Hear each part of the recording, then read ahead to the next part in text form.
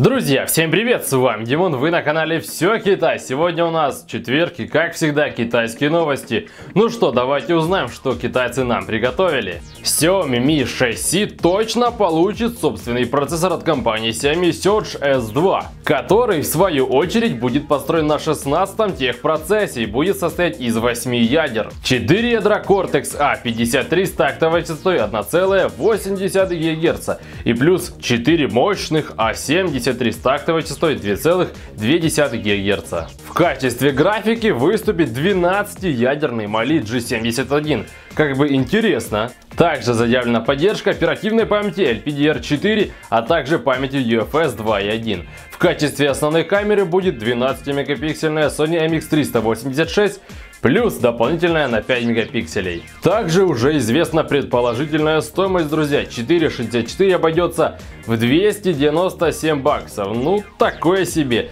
И самая заряженная, да, 6128 обойдется в 375 как по мне, многовато. Я думаю, компания Xiaomi немножко все обдумает и ценник сделает меньше, потому что она выпустила Xiaomi Mi 5X, который имеет офигенные камеры, такие же как в Mi 6, и он стоит дешевле. Он стоит 222 доллара официально. Да, там Snapdragon 625 но я думаю, Surge S2 далеко по мощности и по энергоэффективности не уйдет от Snapdragon 625. Пока что Snapdragon 625 это оптимальное решение.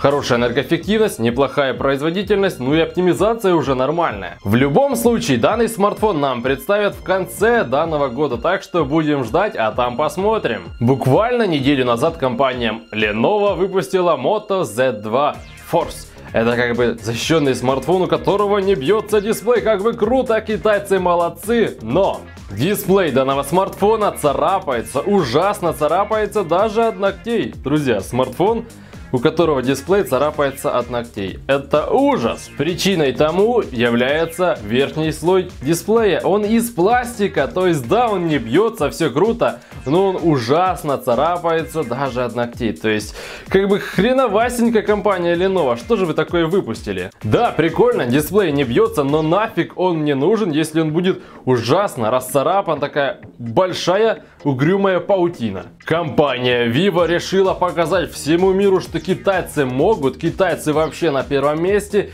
и они выпускают супер смартфоны. Vivo хочет выпустить Vivo X-Play 7, смартфончик, который имеет безрамочный дисплей, соотношение как у Samsung, то есть все хорошо, AMOLED матрица, но в дисплее будет встроен ультразвуковой сканер, как бы круто, но знаете, друзья, это не все, это не все. Дальше, друзья, в качестве основных камер у нас будет три модуля, три модуля основных. Нифига себе, как бы целых три. Раньше было два, это круто, но китайцы решили не останавливаться. Нужно три ставить, да, вот так вот, друзья. Качестве фронтальной камеры у нас будет два модуля. Целых 5 камер в смартфоне. Боже, китайцы, вы что, сдурели? Остальные характеристики пока что неизвестно. Предположительно у нас будет Snapdragon 835, но он поддерживает только две основные камеры до 16 мегапиксельные. А здесь три как бы под сомнениями. Может быть там Snapdragon 836 будет поддерживать больше, но пока что неизвестно. Также целых 6 гигабайт оперативной памяти, но я думаю будет версия из 8.